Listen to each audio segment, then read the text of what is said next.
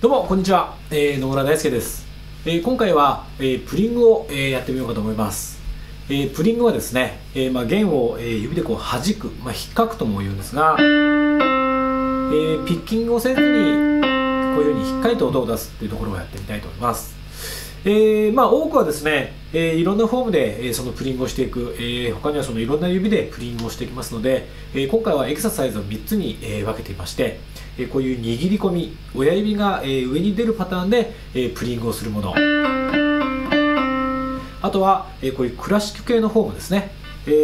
ー、親指が裏側に回って指がこういうふうに全体的にこう4つ置いたりとかしながら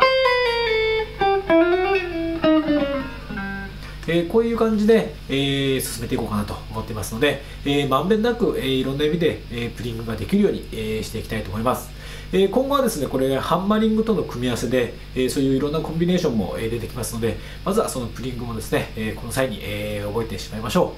う。それでは、えー、頑張っていってみたいと思います。